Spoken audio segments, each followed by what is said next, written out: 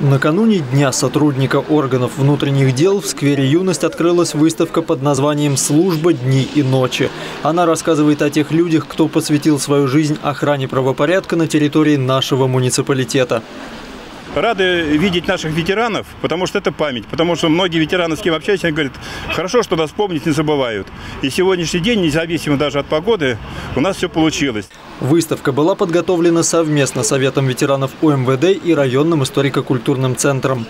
В этом году мы хотели как бы уделить этому празднику особое внимание, а, почтить э, память э, наших бывших сотрудников органов внутренних дел, поздравить настоящих сотрудников органов внутренних дел с их праздником и посвятить им эту выставку. Экспозиция будет интересна как старшему поколению, так и молодым людям. Ведь на представленных фотографиях запечатлены моменты из жизни тех людей, чьи судьбы тесно переплетены с историей муниципалитета.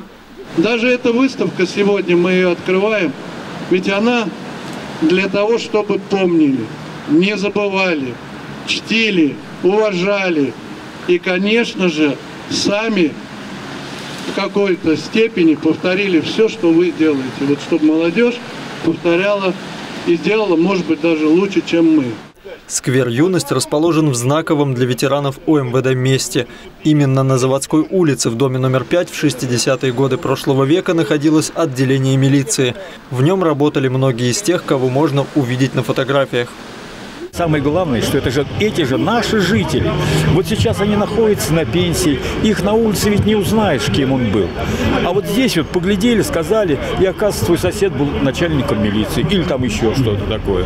Вот поэтому я хочу сказать, что это нужное дело. На выставке представлены 57 снимков из архивов историко-культурного центра и ветеранской организации сотрудников Ленинского УМВД. Юрий Дудаков в советские годы руководил местным ОБХСС и сегодня с гордостью показывает себя на фото. Другой ветеран УМВД Илья Продан, не скрывая эмоций, делится своими впечатлениями. Это же память. Это же память, которую надо всегда помнить. И помнить, потому что в нашей службе было и э, хорошие, а было и трагедии. Я сам под э, ружьем был, это значит неоднократно. Проходящие мимо сквера люди останавливались, с интересом рассматривали фотографии и благодарили ветеранов органов внутренних дел за их нелегкую службу.